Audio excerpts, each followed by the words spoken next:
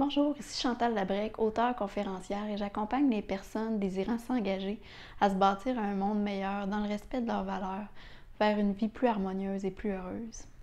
Le sujet d'aujourd'hui, c'est tout qu'un sujet, c'est apprendre à s'aimer soi-même davantage. Comment apprendre à s'aimer davantage soi-même? C'est pas quelque chose qu'on apprend. Hein? Euh, on n'apprend pas ça dans notre éducation vraiment. C'est tout le temps des messages subjectifs qu'on apprend. Euh, on n'apprend pas ça à l'école non plus. Donc, euh, on apprend par la bande un petit peu. Puis souvent, on enregistre comme message, à tort bien sûr, que s'aimer soi-même, c'est un peu comme de l'égoïsme. Tu sais, de, de, se démontrer de l'attention envers soi-même, de se considérer, tout ça. Ça peut être démontré à tort comme de l'égoïsme. Puis c'est vraiment euh, loin d'être le cas et pourtant c'est vraiment nécessaire pour mener à bien notre vie.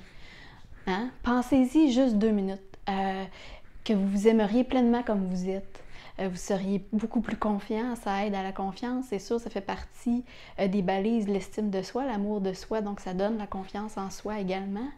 Euh, vous seriez à l'aise de rire de vous-même, de vous montrer en public tel que vous êtes et non sous un faux visage. vous seriez à l'aise face aux critiques des autres. Vous, prendriez ça beaucoup plus à la légère et vous auriez beaucoup moins peur du jugement des autres. Vous seriez en mesure d'aimer les autres adéquatement. Donc, bref, vous seriez beaucoup plus heureux. Euh, mais c'est beaucoup plus facile à dire qu'à faire, hein, parce que dans la réalité, euh, c'est pas aussi simple que ça. Et je suis parfaitement d'accord. Euh, c'est souvent un amour qu'on a qui est conditionné. Ce que je veux dire par là, c'est par exemple, c'est très inconscient cela, mais on a des messages comme des quand j'aurai telle chose, je pourrai me respecter, quand j'aurai atteint tel euh, ceci, euh, je pourrais m'aimer enfin. Puis en fait, c'est pas, c'est pas réellement de l'amour, c'est de l'amour conditionné. Puis on s'envoie des messages qui en fait reflètent un non-amour de soi. Pourquoi je dis ça, l'amour conditionné, que c'est pas de l'amour? Ben c'est en fait, euh, observez bien ceci parce que c'est vrai. la condition qu'on se donne à l'effet que quand j'aurai atteint telle chose, je vais m'aimer. Mais quand on atteint la condition, on s'aime pas plus. On trouve une autre condition. Donc, on se trouve un autre euh, euh, chose à atteindre. Donc, c'est toujours en perpétuel recommencement. Puis cet amour-là de nous est jamais atteint parce que puis plus ça va aller, plus que les conditions vont s'amplifier et plus qu'on va être exigeant envers nous-mêmes. Donc c'est un faux visage de l'amour et euh, malheureusement ces situations-là nous entraînent dans des situations de vie qui nous démontrent qu'on n'est pas digne d'amour. Puis moi, mais je peux vous aider là-dedans parce qu'il y a plusieurs années, euh, je m'aimais pas vraiment en fait. Puis c'est bien inconscient tout ça. Euh, mais j'attirais à moi à ce moment-là des situations de vie qui démontraient ma mésestime de moi-même.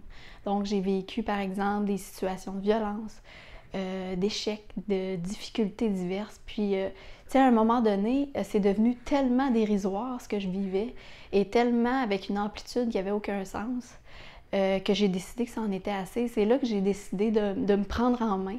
Euh, j'ai cherché fort comment arriver euh, à y parvenir. Puis en découvrant l'importance de, de, se respecter, de s'aimer soi-même, c'est fou ce que j'ai pu découvrir sur cette importance-là, de se respecter et de s'aimer soi-même. C'est fou parce que c'est incroyable les changements que j'ai vus depuis ce temps-là dans ma vie. Ma vie est tellement plus belle, tellement plus simple, si vous saviez. Euh, que je me dis que vu que ça m'a aidé, moi, beaucoup, beaucoup, ben, je me dis que ça ne peut pas faire autrement que de vous aider si vous êtes dans ce besoin-là, de vous aimer davantage. Donc, je vais vous faire part de cinq éléments euh, qui, moi, m'ont beaucoup aidé et que je crois qu'ils peuvent vous aider si vous les pratiquez euh, régulièrement avec discipline, parce que oui, ça demande un effort. Le premier élément, c'est en fait, c'est de prendre conscience de notre mésestime. En fait, c'est bien beau vouloir changer, s'aimer davantage, mais il faut tout d'abord prendre conscience euh, qu'on ne s'aime pas à notre juste valeur. Puis je vous pose une question, vous pourrez la noter, euh, vous pourrez prendre le temps de réfléchir quelle réponse survient, parce qu'il faut vraiment prendre du recul et prendre le temps de réfléchir. Est-ce que vous vous aimez tel que vous êtes? Donc pensez-y comme il faut. Est-ce que vous vous aimez tel que vous êtes? Et quelle réponse obtenez-vous lorsque vous vous posez cette question-là? Est-ce que c'est des messages conditionnels, comme exemple, quand j'aurai ou si telle chose? ou est-ce un message négatif? Donc, dans tous ces cas-là, c'est un amour conditionné, donc un faux visage de l'amour qui n'est pas réellement de l'amour. Comme deuxième point qui est très important à s'exercer, c'est s'aimer sans condition. Un coup qu'on a pris conscience notre amour n'est pas de nous-mêmes, n'est pas ce qu'elle devrait être, eh bien, c'est d'apprendre euh, à briser ces patterns-là, euh, où on s'exerçait à ne pas s'aimer, des, messages conditionnels, c'est inverser ces patterns-là. Puis c'est de dire, comme par exemple, si une personne veut perdre du poids, qu'elle se dit toujours, quand j'aurai perdu 30 livres, je m'aimerai, eh bien, c'est de changer ces patterns-là, puis de dire plutôt, c'est vrai que je veux perdre du poids, mais peu importe mon poids actuel, je m'aime. Puis c'est vraiment de prendre conscience de ces messages-là internes et de les changer. Puis ça, ça demande beaucoup, beaucoup, beaucoup, beaucoup de pratique. Donc, c'est pas en le faisant une fois que ça va être acquis. Puis vous pouvez l'écrire, vous pouvez vous enregistrer, vous pouvez vous écouter. Euh, rien n'est mauvais pour euh, acquérir l'amour de soi. Comme troisième élément, c'est focuser sur ce que vous percevez de positif en vous. Hein. On a tendance à percevoir ce qui est négatif. On voit beaucoup plus ce qui est négatif en nous. On met vraiment le, point là-dessus, puis on ne voit pas autre chose. Mais pourtant, on pourquoi qu'on ne focuserait pas sur ce qui est positif en nous aussi? Puis ici, je suis loin de parler juste du physique, parce qu'on pense beaucoup à ça, hein? s'aimer égale aimer notre physique. Non, pas nécessairement. On peut aimer plein d'autres choses de nous. On peut aimer, par exemple, nos talents, nos qualités, nos forces, nos ambitions, etc. Puis si on a de la difficulté à les trouver, bien, on peut demander à quelqu'un en qui on a confiance, qu'on sait qu'il va nous dire les vraies choses, euh, de nous les dire, nos forces, nos qualités, puis de les noter, euh, de se les répéter, d'essayer de, faire fi de ce qu'on pense de nous négatif, mais vraiment de focuser sur le positif. Comme quatrième élément, être indulgent vers soi et se laisser place à l'erreur. On a tendance aussi à pas se laisser place à l'erreur, à être très exigeant vers soi-même comparativement euh, à ce qu'on exige des autres. Hein. On est beaucoup plus indulgent envers les autres qu'envers nous-mêmes. Puis, qui n'a pas entendu quelqu'un se traiter d'imbécile quand il fait une erreur? Est-ce que c'est quelqu'un-là et vous par hasard?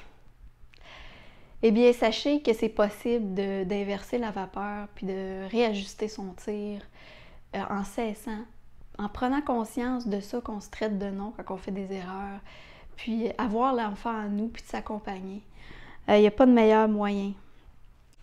Le dernier élément, et non le moindre, apprendre à se découvrir.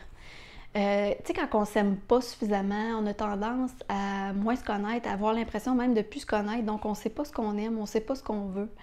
Euh, c'est d'apprendre à, se redécouvrir en fait.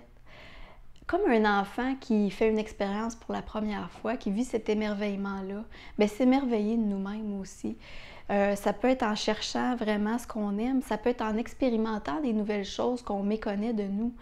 Euh, puis c'est fou qu'est-ce qu'on peut faire comme découverte. Je vous donne comme exemple, moi, vraiment, je pensais jamais que j'aimerais écrire. Hein? Puis je me suis donné cette chance-là d'expérimenter euh, ça, d'écrire. Puis c'est fou maintenant, euh, comme cette expérience-là m'a ouvert une connaissance de moi que je, je méconnaissais totalement. Soit l'amour d'écrire, j'adore écrire. Euh, j'ai écrit mon premier livre qu'on voit au-dessus de moi, Mille et un regards pour une solitude. J'en écris un autre présentement. Puis tu sais, je me vois pas finir ça là. Je me vois, j'ai plein d'idées pour d'autres livres éventuels. c'est fou ce que ça peut ouvrir comme porte. Donc, je vous ai fait part des cinq éléments qui, selon moi, sont très importants. Euh, c'est sûr, il y en aurait d'autres, hein, puis il n'y a pas de formule miracle. Mais si vous retenez ce que je vais vous dire à l'instant, deux choses importantes, euh, vous aurez retenu l'essentiel.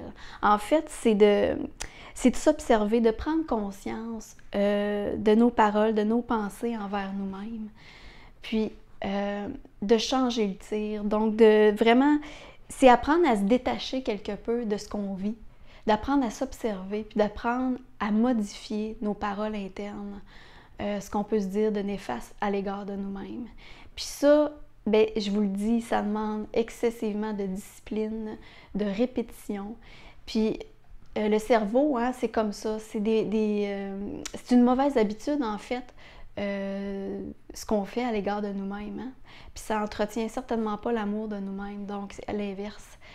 Euh, puis pour changer une mauvaise habitude, selon la littérature, ça prend en moyenne 11 fois pour changer cette, habitude, cette mauvaise habitude-là. Ben, entre vous et moi, là, je vous le dis, euh, mon chum, ça y prend beaucoup plus que ça, mais ça, dites-le pas. moi et mon chum, on se taquine tout le temps, donc je me permets de le faire même ici.